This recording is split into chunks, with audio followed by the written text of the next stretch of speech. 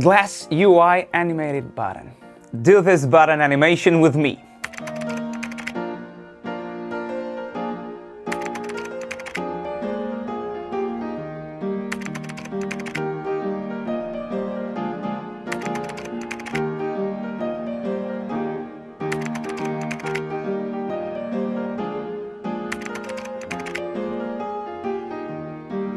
If you like this animation, use it in your projects.